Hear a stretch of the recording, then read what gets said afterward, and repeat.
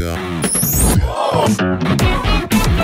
This is words. Speaker Pelosi, Pelosi, pop, pop, pop. Lol, my fellow American. My head be bold, my cock be fragile. My days are through. P. God, I'm heated. Lowered the temperature. 9 11 did not happen. I thank the Twin Towers for their presence here today. I don't fear death. There's nothing after. I checked. Just darkness. We are facing too many crises. We have too many crises. I'm concerned about the crises. As a proud Democrat, I will not get anything done. That's the choice I'll make as president. I don't care. Words.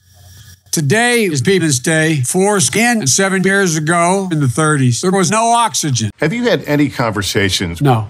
Not ever or not? No. Okay. What about Speak. this is your first interview, so we've got a lot to cover and we appreciate We can't keep this dialogue going. It has to end. But- no.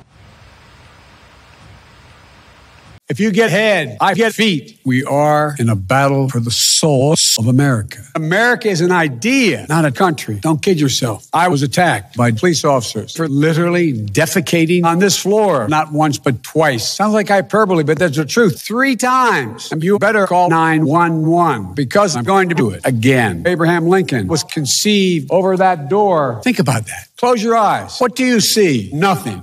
what else do you see? Nothing.